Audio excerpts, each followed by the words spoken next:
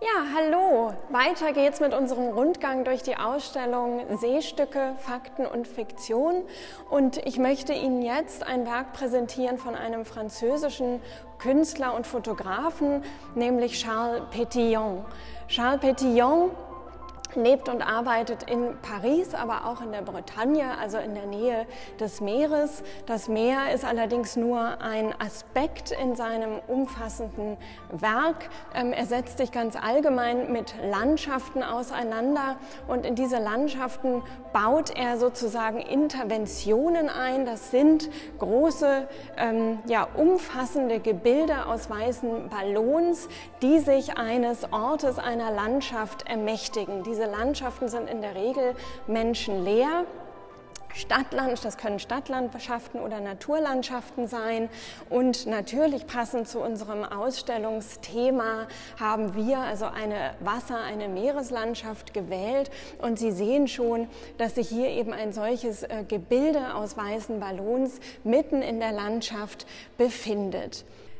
Mit der Intervention, dem Hineinsetzen eines solchen Gebildes in die Landschaft verfolgt Petillon verschiedene Ziele. Das erste ist ganz allgemein, die Aufmerksamkeit auf die Landschaft zu lenken. Eine ja zunächst unscheinbare Landschaft in ganz gedeckten Farben auch gehalten, eine ganz flache Ebene, ähm, über die man den Blick vielleicht einfach gleiten lassen würde, wäre da nicht auf einmal dieser Fremdkörper, der unsere Aufmerksamkeit ein einfängt. Also den Blick zu lenken auf etwas, das man im Alltag, im Vorübergehen vielleicht nicht wahrnehmen würde.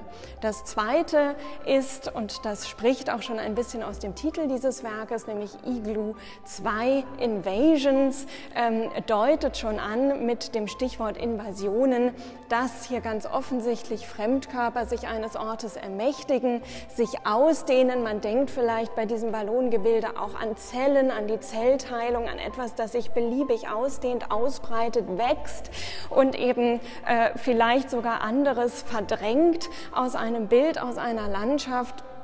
Äh, ja, diese Invasionen, also das Ermächtigen eines Ortes ähm, oder Erobern eines Ortes, bezieht sich natürlich auch auf die Angreifbarkeit der Natur, ähm, in der auch wir uns ja zum Beispiel als Mensch äh, ausbreiten, breit machen, verdrängen. Ähm, also da ein ganz konkreter Bezug zur ja, Fragilität, Empfindsamkeit auch einer Landschaft. Ein dritter Aspekt ist natürlich auch die ästhetische und fast schon poetische Schönheit, die sich aus ähm, ja, der Zusammenfügung dieser beiden Aspekte ergibt, also eine fragile Form Ballons, die ja auch erst einmal eine freundliche Assoziation vielleicht hervorwerfen und das im Zusammenspiel mit einer, ja, auf den genauen Blick doch ja auch sehr friedlichen Landschaft und die gehen eine, eine Koexistenz ein, ein Zusammenwirken ähm, und bestärken sich dadurch auch gegenseitig natürlich eben diese Ebene, die Fläche der Landschaft wird erst durch das Volumen äh, dieses Ballongebildes äh, wirklich ähm, erkenn, äh, erkennbar oder wahrnehmbar, spürbar. Gleichzeitig natürlich auch der Hell-Dunkel-Kontrast. Eine natürliche Lichtquelle ist ja nicht zu sehen. Wir haben nur das künstliche Licht, das dann aber wiederum auch die Schattierungen und die Wasseroberfläche hier sehr schön in Szene setzt.